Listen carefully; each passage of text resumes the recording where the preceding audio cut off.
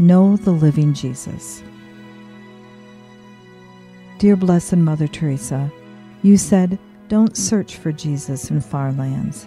He is not there. He is close to you. He is in you.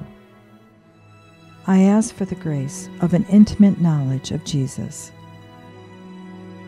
Blessed Teresa of Calcutta, you allowed the thirsting love of Jesus on the cross to become a living flame within you, and so became the light of his love to all. Obtained from the heart of Jesus, this request I place before you. Teach me to allow Jesus to penetrate and possess my whole being so completely that my life, too, may radiate his light and love to others. Amen. Immaculate Heart of Mary, cause of our joy, pray for us. Blessed Teresa of Calcutta, pray for us.